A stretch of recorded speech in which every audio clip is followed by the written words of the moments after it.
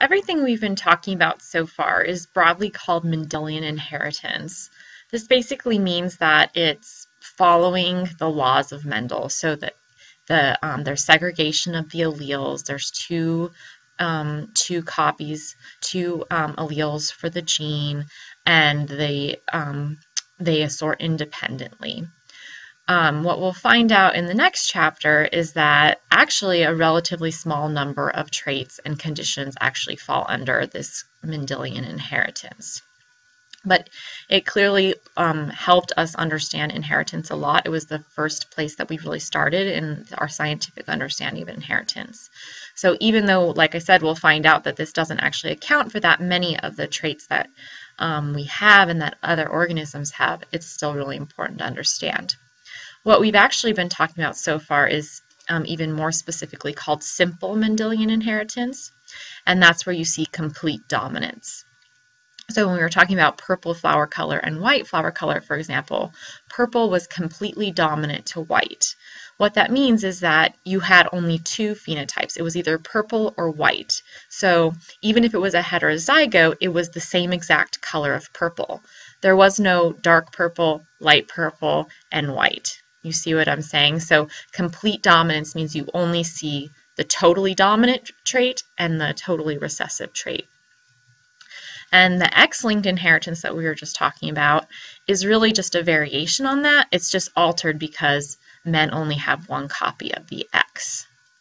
So we're going to talk now about some variations on Mendelian inheritance. They're still going to follow um, Mendelian inheritance, but it's not going to be as straightforward as simple Mendelian inheritance.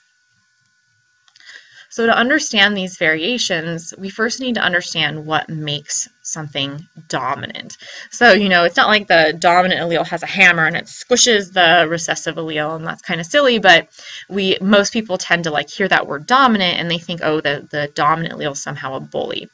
Really, the only thing that makes an allele dominant is how the protein that it codes for um, works. So again, remember that alleles are really genes. Genes get read to make proteins. So whether an allele is completely dominant or not really has to do with the function of the protein. So usually the um, dominant and recessive is really about wild type versus mutant. So the wild type allele is the allele that's most common in the population. And usually that means it's making the protein in the right amount um, and, and making it so that it functions normally. The mutant alleles tend to be rare, and there's some sort of change in the DNA sequence that usually, again, not always, but usually makes it so that it doesn't make the normal protein anymore. So that means that when you have that mutant allele, you're making less of the protein. So in simple dominance, making less of the protein isn't going to matter because a single copy of the dominant allele is still going to be enough normal protein to make the same color. So we'll walk through the example here with the flower color. So remember that the homozygous dominant and the heterozygote um, one has two copies of the big P allele and one has uh, one copy of the big P allele. So this allele is non-functional. It's a mutant version of it. So that means that this and this both work, and that's going to give you the maximum amount of protein that you can get. And this protein is making purple pigment. So it starts with some sort of precursor. Protein P is then going to make the purple color. And so 100% of the protein P gets made and you get purple color. In the heterozygote, this copy of the gene doesn't work right. So that means you only get 50% of protein P. So you're making less of protein P. But because of the way that the purple pigment works and the way protein P works, these two are identical. They make the exact same color. The only like analogy that I can really give you on this is to if you've ever painted a room. If you've painted, you'll be familiar with the idea that there's certain types of paint and certain colors of paint that you can only put one coat on. And no matter how many coats you do, it's always going to be basically the same color. Then there's other colors of paint where really every time you put on a coat, you're getting a darker color. So at first, the color's a little lighter. If you put on a second coat, the color's darker. If you put on a third coat, the color's even darker. And that's just based on the chemistry of the paint and different complex things. The same thing is true in the cell. Something about the purple pigment makes it that where one coat, right, so 50%, one coat is the exact same color as two coats, or 100% of the protein. Still going to be the same uh, exact color. Now, the homozygous recessive now has two copies of the gene that doesn't work. So now it makes 0% of the, of the purple pigment. So I don't have any of this, so I won't make any purple pigment. So I'll have a colorless precursor molecule only. And in nature, um, the white color is usually the absence of color. So it's not that there's white paint in this plant, it's that there's no color, so you see white. So this is a case, again, of complete dominance. 100% of the protein is going to look exactly the same color as 50% of the protein. So in some cases, there's not complete dominance. This is called incomplete dominance. And so this is a different pigment, a different flower, and for some reason in this pigment and this flower, 50% of the protein is going to look like 50% of the color. So the colors here are red and white. If I have 50% of red, right, it's less red. What does less red look like? Pink. So incomplete dominance is characterized by having three phenotypes. In this case, red, pink, and white. So this is an intermediate, pink is an intermediate between white and red. So a plant that has two red alleles will be um, red. A plant that is heterozygous, so a red and a white, will be pink.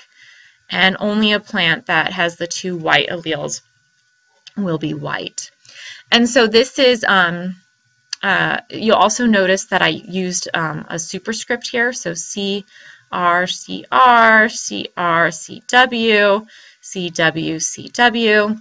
And that's um, one of the ways that we indicate that there's incomplete dominance. So if you ever see somebody using that, what they're telling you is that this is a case of incomplete dominance. You can also do Punnett squares, just like we've done before.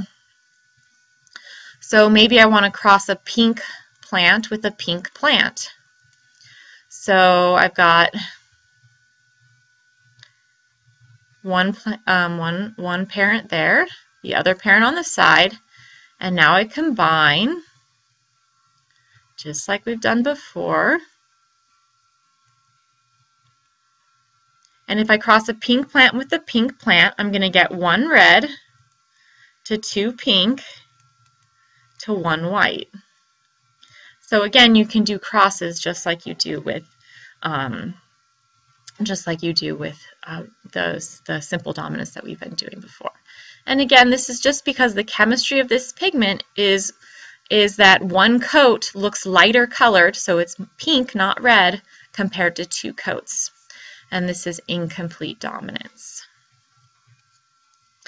Another variation of Mendelian inheritance is codominance and multiple alleles. So a blood typing is a perfect example of both multiple alleles and codominance.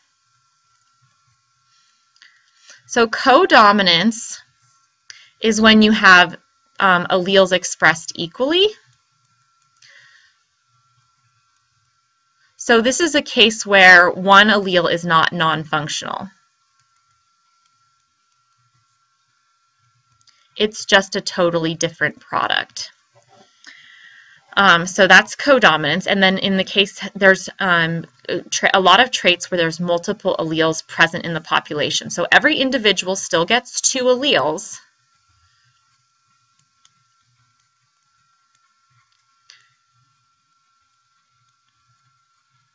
Okay, so that's not where there's multiples, but there's more than two to choose from.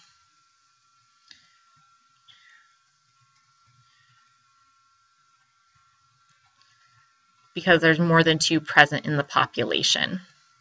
So in the previous examples we've looked at, like there was the purple allele and the white allele, the tall allele or the dwarf allele, the red allele or the white allele. That's all cases where there's only two alleles present in the population. With blood typing, there's actually three alleles present in the population. There's the A allele, the B allele, and the O allele. So those are the three alleles present in the population.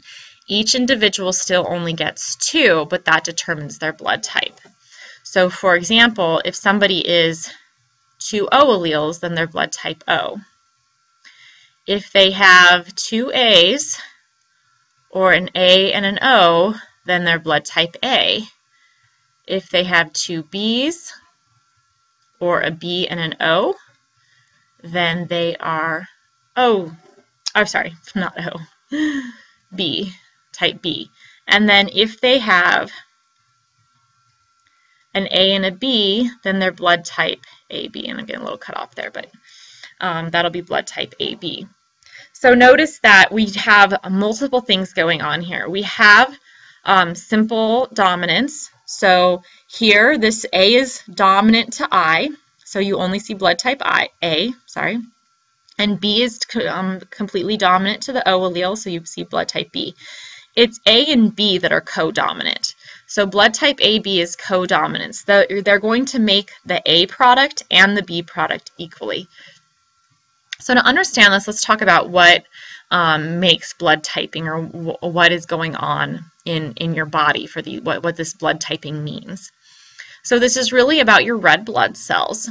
So this is your red blood cell, and you you the the O antigen is made from the O gene, um, and it's just basically this sort of um, root or base molecule. And notice that every single blood type is going to have that same base, right? So every single blood type, regardless of what they are, will have that same base. So O only has the base because they have these recessive alleles. They don't have the A and B, and so they won't add on to it. If you have an A allele, so you're either two A's or just have one A, then you're going to add on this extra part. So see this little orange dot here? You're adding on that extra part to the base. If you have a B allele, so now I'm looking at type B, instead you're going to add on this green triangle. So you put a green triangle onto your base. If you're type AB, then you've got both the A allele and the B allele. And so this is where it's co-dominance.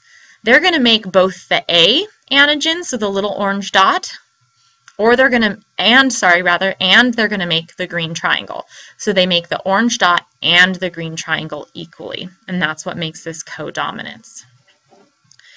So this is significant for health, as you may know.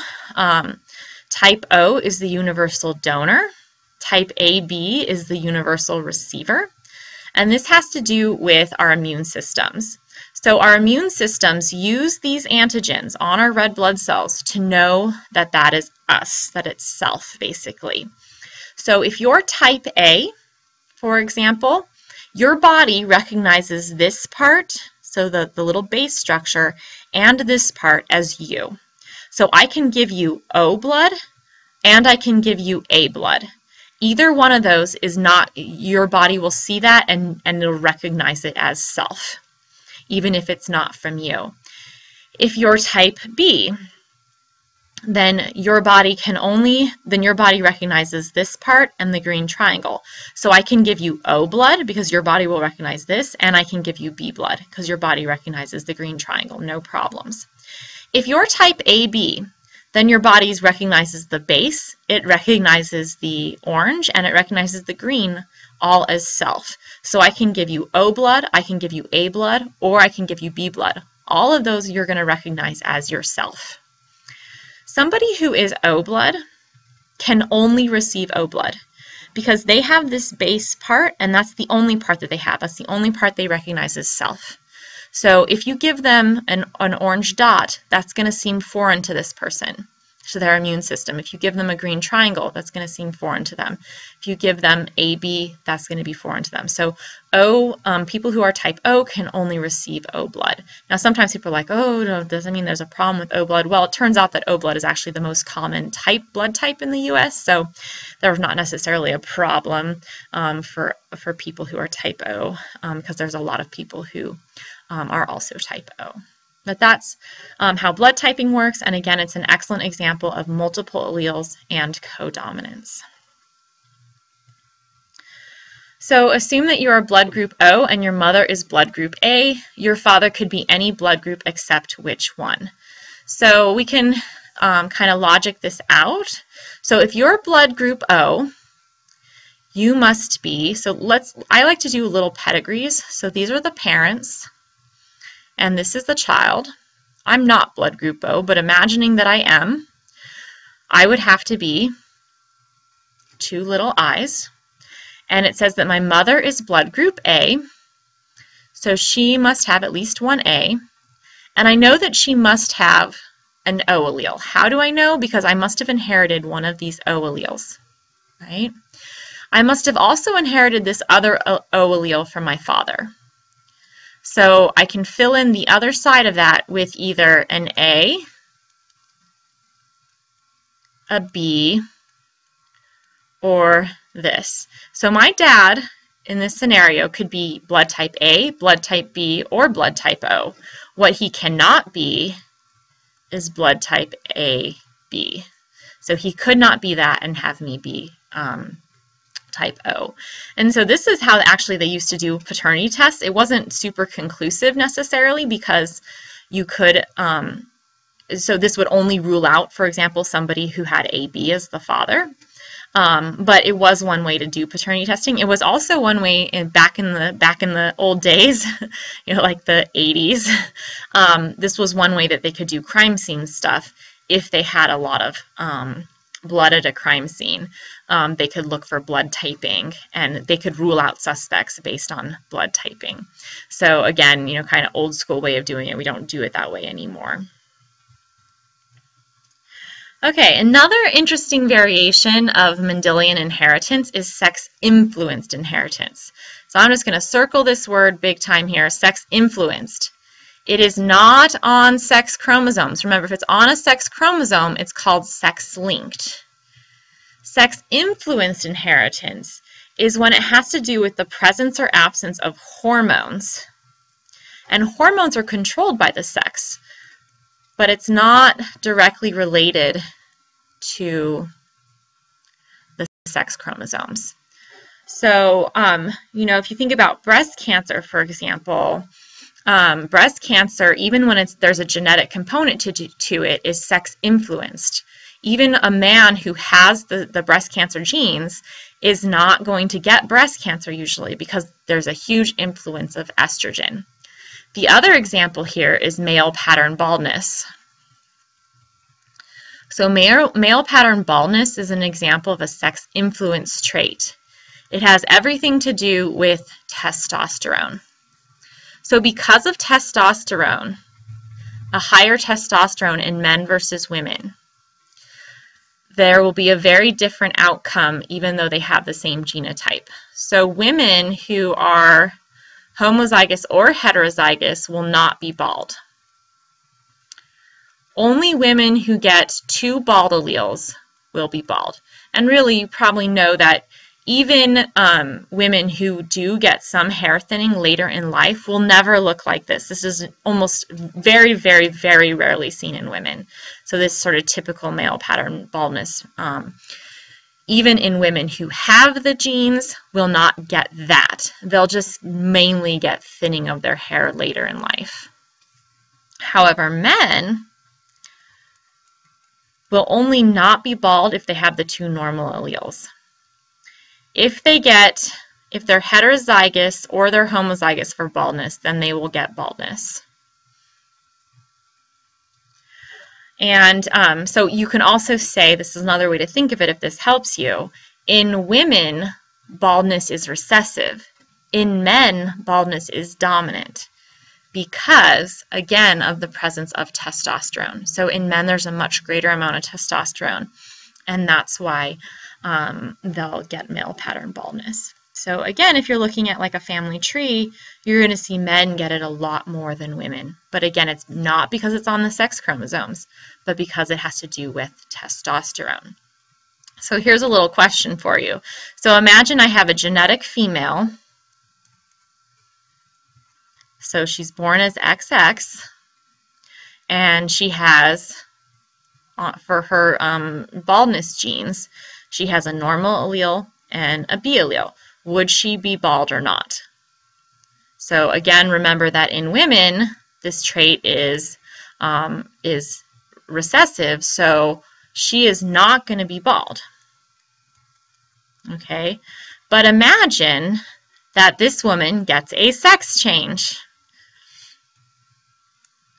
So this, this person is going to get a sex change and what you may or may not know is that a sex change is going to involve dosing of hormones. So large amounts of testosterone are going to be given to this person to facilitate the sex change.